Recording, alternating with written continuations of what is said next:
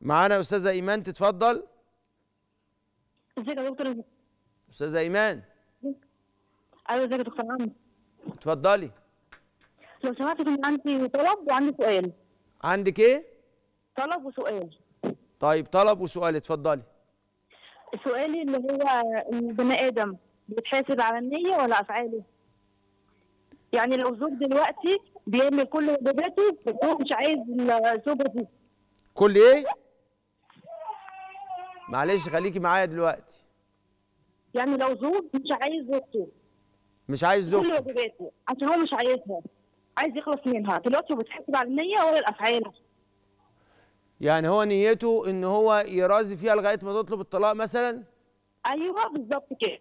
طيب. دي دي يتحاسب بقى على المرازيه ولا يتحاسب على نيته اللي جوه صح؟ آه. طيب الحاجة الثانية الطلب بقى. الطلب عندي مشكله سنين عندك إيه؟ عندي مشكلة بقالها أربع سنين ما بتتحلش طيب هاتي. ممكن رقم حضرتك؟ حاضر حاضر. حضرتك خد رقم من الكنترول حاضر. طيب أول حاجة اللي بيتحاسب على النية ولا الأفعال؟ هي طبعا عايزة تقول له تاخد هي المسألة وتأيفها عليه. لا خلينا بس نتكلم على إن الإنسان بيتحاسب على النية ويتحاسب على الأفعال. إنما الأعمال بالنيات فإذا كانت النية صالحة فيكون لها أجر وإذا كانت النية سيئة يكون لها عقاب. ويتحاسب كمان على الأفعال. فإذا كانت الأفعال مطابقة أخذ عليها ثواب. وإذا كانت الأفعال دي محرمة أخذ عليها عقاب. يبقى اذا الإنسان بيحاسب في فرق ما بين الحساب وما بين العقاب. فالإنسان بيحاسب على النوايا كما يحاسب على الأفعال. ولذلك ولكن أنت قصدك النوايا يعني إيه؟ واحد قصده. قصده يعني إيه؟ مش نيته. في فرق ما بين النيه لأن القصد خمس مراحل. في هاجس وفي خاطر وفي حديث النفس وفي هم وفي عزم.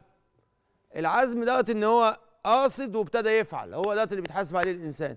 اللي قبل ده كان قصده قصده يعني الغاية بتاعته هو عايز إيه من ورا الفعل ده؟ أنا ما بنصحش الناس إن هي تبحث في نوايا الناس. ليه؟ لأن رسول الله صلى الله عليه وسلم قال له أشققت عن صدري يا أسامة؟ وكأن حضرة النبي يستنكر إن الناس تشق عن صدر بعض. فبلاش نبحث في نوايا بعض. البحث في النوايا حرام فما نجيش نقول والله ده هو بيفعل فعل كويس بس هو نصيب لي فخ. ولذلك سيدنا عمر لما فهم ده قال إيه؟ أمرنا أن نعامل الناس بالظاهر أما البواطن فأكنها إلى الله سبحانه وتعالى. فلذلك لا يبقى هنا إحنا وضحنا المسألة دي وبيناها عشان ما يبقاش في خلط وما يبقاش في حد حساس يدخل في نوايا الناس ويدعي إن هو يعرفها وهو لم يطلعه الله سبحانه وتعالى على قلوب العباد ولا على نواياهم. فلازم نفهم ده.